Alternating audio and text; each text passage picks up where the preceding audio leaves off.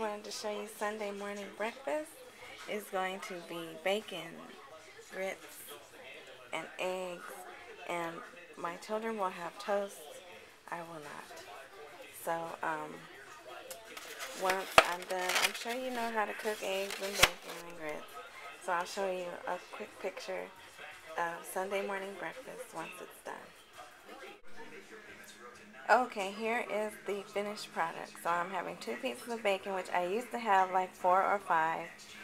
Um, that's probably like two eggs. And um, that's probably a cup of grits. I don't know the calories, but um, it's a lot better than what I used to eat.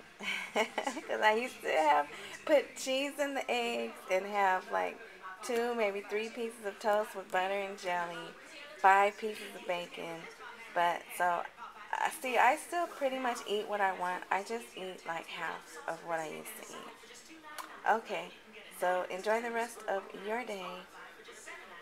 Thanks for watching Lose Weight Now TV. Bless and be blessed. I'll see you in the next video.